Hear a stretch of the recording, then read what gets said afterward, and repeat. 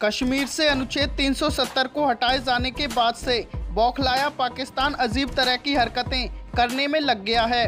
कभी भारत को परमाणु युद्ध की धमकी देता है तो कभी अपना हवाई क्षेत्र बंद कर लेता है। आज पाकिस्तान के प्रधानमंत्री इमरान खान ने कश्मीरियों के साथ एकजुटता दिखाने के लिए कश्मीरी आवर का आयोजन किया। इसके द्वारा पाकिस्तान के लोग आधे घंटे के लिए सारा कामकाज छोड़कर सड़कों पर उतरे। दूसरी तरफ़ पाकिस्तान देश की अर्थव्यवस्था में एक रुपए का राजस्व खोने की क्षमता भी नहीं बची है।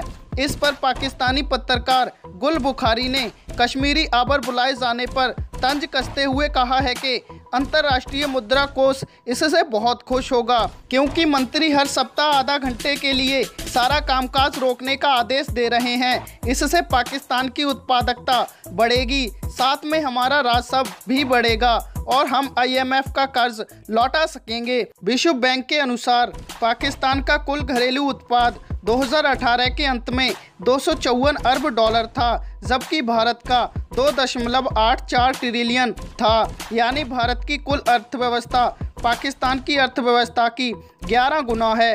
अगर 2019 में भारत की आर्थिक वृद्धि दर सात फ़ीसदी भी रहे तो एक साल के भीतर इसमें 200 अरब डॉलर और जुड़ जाएँगे, जो कि पाकिस्तान की 2018 की कुल जीडीपी का 80 फ़ीसदी के बराबर हो जाएगा। दूसरी तरफ़ पाकिस्तान की सरकार बजट घाटे की समस्या से भी जूझ रही है और लगातार कर्ज ले रही है, लेकिन उसके राजस्व में बढ़ोतरी नहीं आई है। ब्लूमबर्ग की रिपोर्ट के अनुसार, पाकिस्तान का वर्तमान बजट घाटा जीडीपी का आठ दशमलव नौ फ़ीसदी तक पहुँच गया है, जो कि पिछले तीन दशकों में सबसे अधिक दर पर है।